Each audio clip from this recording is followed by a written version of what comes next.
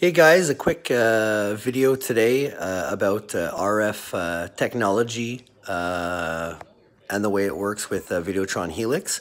If you remember from my first video, in my setup I had my internet gateway right there on my console and I had the Helix terminal here. And as you can see, it's gone.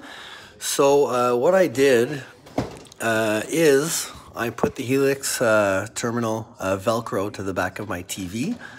Um, and because the remote works with RF technology, well, theoretically, the terminal could be hidden behind my TV, uh, stashed away in a drawer, uh, maybe even, uh, you know, um, cut uh, out into the wall.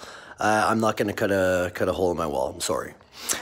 so, you know, if we do a test right in front you know, of the TV. Right now I'm on TSN. Let's call up something else. Sportsnet. And perfect, the voice command works. If I also want to go, uh, you know, with the button here, perfect. All my commands are working. I thought I'd take it um, a bit next level. I'm going to go into uh, one of my other rooms uh, down the hall and see if we'll get something. So right now uh, we are uh, on Sportsnet. Let's uh, go for a little walk.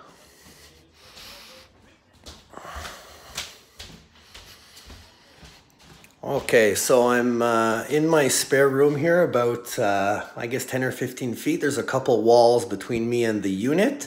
Uh, here we go. Remember, we're on Sportsnet. TSN.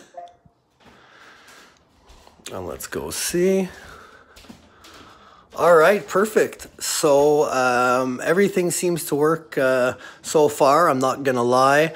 Uh, I Wikipedia'd RF technology before just to make sure I knew what it stood for. So it is a radio frequency, and I will put the link to uh, RF um, in the uh, description of the video. Okay, guys, so I uh, hope you're having fun uh, with your Helix. Have a great day.